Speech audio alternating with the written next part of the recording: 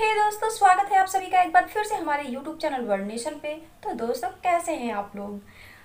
आज की वीडियो में हम जानेंगे कि गाड़ियों में जो नंबर प्लेट होते हैं, उससे आप कैसे पता लगा सकते हैं कि वो गाड़ी कौन सी है और किसकी है।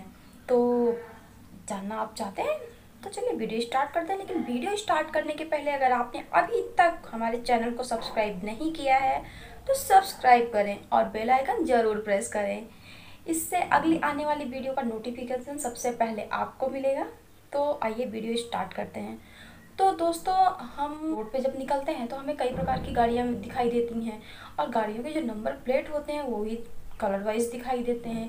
क्या आपको पता है ये अलग अलग कलर से हमें क्या इंडिकेट करते हैं? तो आइए हम उसी के बारे में आज बात करते हैं। जो पहला नंबर प्लेट है, जो वाइट कलर की पट्टी पे ब्लैक कलर का नंबर्स लिखा होता है, ये वो नंबर प्लेट होते हैं जो पर्सनल गाड़ी होती है, यानी जिसे लोगों ने अपने पर्सनल यूज़ के लिए ख़रीदी है। तो ये पर्सनल गाड़ी होते हैं, जैसे आपका स्कूटर हुआ, आपका फोर व्हीलर हुआ, आपकी बाइक हुई, ये आपकी पर्सनल गाड़ी है। जो दूसरी नंबर प्लेट के बारे में हम बात कर रहे हैं, वो ब्लू कलर की पट्टी होती है उस पर वाइट कलर से लिखा होता है। तो ये नंबर प्लेट ज़्यादातर ज़्यादातर नहीं हंड्रेड परसेंट ये दूतावास की गाड़ियाँ होती हैं, विदेशी दूतावास।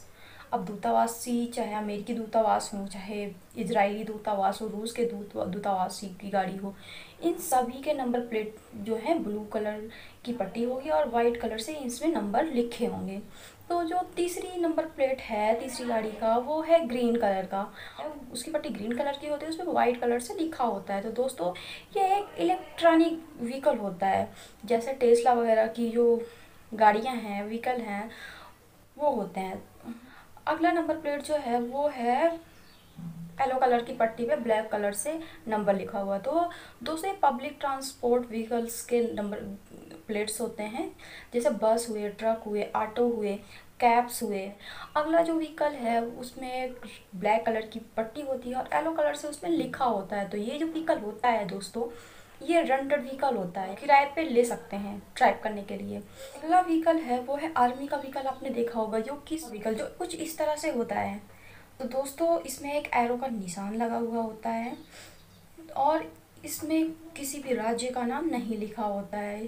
ये इंडियन आर्मी का गाड़ी होती है। इसमें जो है सीओ लिखा होता है, जो जो lieutenant lieutenant colonel colonel major इन लोगों कैप्टन इन, ये रैंक वाले लोग इसको चलाते हैं। इसके अलावा अगर आप ध्यान देंगे तो जो ब्रिगेडियर की गाड़ी होगी, उस पर सिंगल झंडा लगा होगा।